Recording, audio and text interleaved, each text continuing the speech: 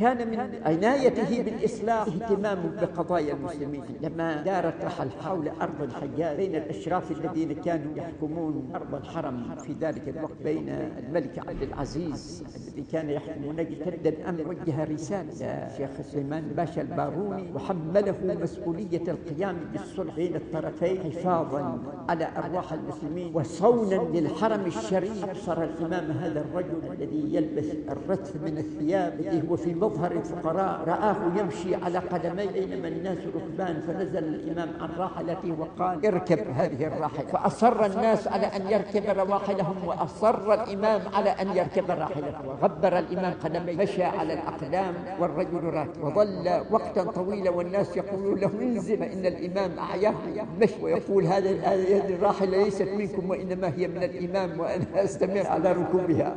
هكذا كان. هذا دور الإمام في في حياة الناس وفي تربية الناس وفي مكابدة أمور الناس.